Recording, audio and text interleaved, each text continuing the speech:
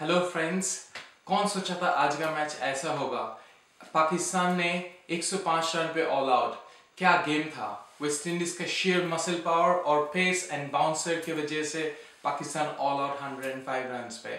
पहले हम just quickly go through कर लेते हैं कि टीम था पाकिस्तान का। पाकिस्तान का टीम में इमाम था, फकर था, बबर था, हरीस, सरफराज, हफीज. ये छह बैट्समैन ऑन द टॉप उसके बाद दो allrounder Imad शाबादब Hassan Amir and Wahab. ये fast fast bowlers from Pakistan.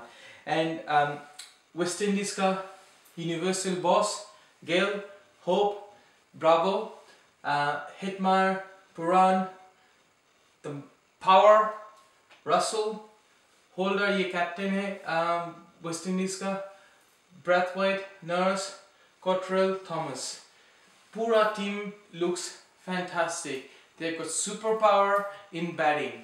West Indies ka whole team can hit sixes anytime they want, especially Chris Gill and Russell.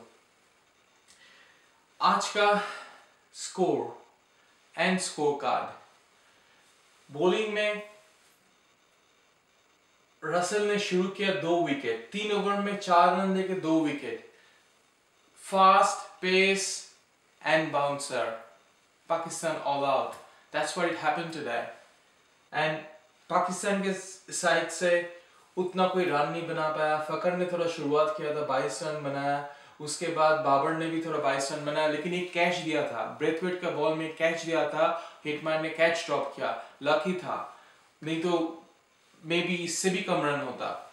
उसके बाद कोई टिकी नहीं पाया। हफीज ने थोड़ा बहुत रन बनाया, लेकिन थॉमस ने बहुत ही अच्छा बॉल किया। फ़र्स्ट वर्ल्ड कप है थॉमस का वेस्ट इंडीज की तरफ़ से, लेकिन बहुत अच्छा बॉल किया, वो चार विकेट लिया और पाकिस्तान 105 रन में ऑल आउट उसके बाद यूनिवर्सल बॉस आया और 50 रन बनाया, लेकिन उसका एक प्रॉब्लम हो गई उसका कमर में थोड़ा चोट लग गया। उसका, वो जब हटके हटके चौका मारने गया उस टाइम में थोड़ा सा चोट लग गई उसके बाद वो स्ट्रगल कर रहा था रन लेने के लिए, लेकिन फिर एक एक शॉट मारा, उसमें वो कैच आउट हो गया। लेकिन एक पॉजिटिव है पाकिस्तान में, वो है आमिर।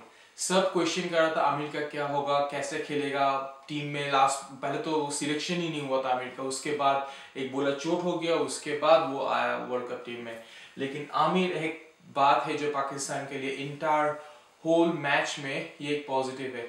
आमिर ने बहुत अच्छा बॉल किया, तीन विकेट लिया और थोड़ा बहुत बॉल स्विंग भी किया और अपॉर्चुनिटीज़ भी क्रिएट किया। एक एक जगह में कभी कभी ball went out from the third slip so Amir एक पॉजिटिव है ये मैच में। एज यू कैन सी वो छः ओवर डाला 26 रन दिया, तीन विकेट लिया 4.33 और हसन वो को तो यूनिवर्सल बॉस धो धो डाला।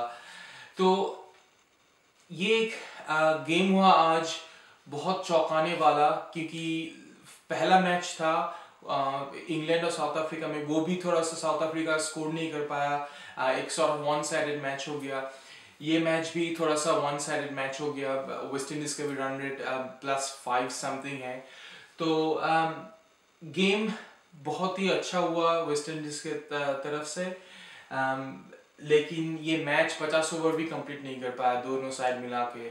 It was as a disappointing match for supporters from especially Pakistan supporters who made the effort to go to um, you know the ground or some people they travel overseas to go to go and watch this match. They probably disappointed uh, with with the with the um, outcome they got uh, from this match. Uh, however you know uh, Pakistan have got few opportunity uh, still there are eight games to go.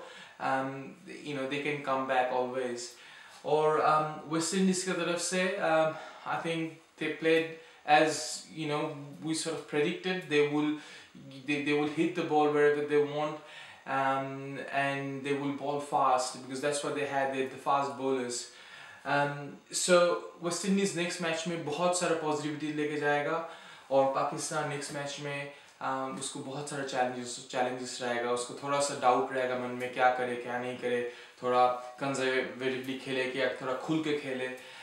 लेकिन ये देखने वाला होगा। So thank you for watching today please like share comment and subscribe thank you bye